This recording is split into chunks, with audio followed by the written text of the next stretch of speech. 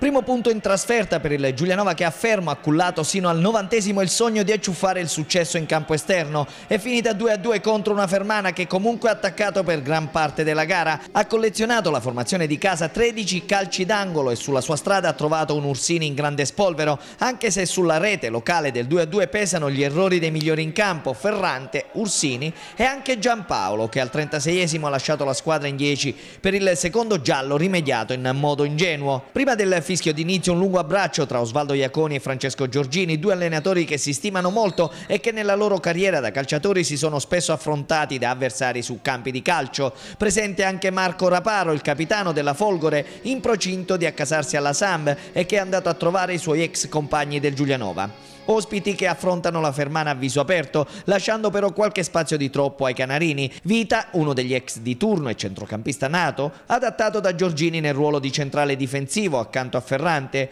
Buon inizio per i marchigiani che per almeno 5 minuti consecutivi non consentono ai giallorossi di lasciare la propria metà campo, ma al primo affondo la truppa giuliese chiede il rigore per un presunto fallo ai danni di Di Stefano. L'arbitro assegna solo un corner agli ospiti. La Fermana si affida a qualche tiro dalla distanza con Omiccioli Pioli che però non spaventa più di tanto Ursini. Straccia tarda a carburare quando lo fa il Giulianova cambia marcia. Giampaolo è in stato di grazia e lo dimostra il talentuoso attaccante giallorosso quando serpeggia in area avversaria nascondendo il pallone consentendo a Marzucco al minuto 22 di superare Olzak per il vantaggio ospite. Si fa male Comotto, già non al meglio della condizione, al suo posto l'ex Terrenzio al centro della difesa. Al ventottesimo invalidato un gol ai Canarini per una carica ai danni dell'estremo giallorosso rosso. Poco dopo Valdese rimedia il giallo per una simulazione in aria. Bravo Rivi al 32esimo con un fendente che impegna Orsini in corner. Dal calcio d'angolo nasce il penalty per un tocco di mani in area di Di Stefano.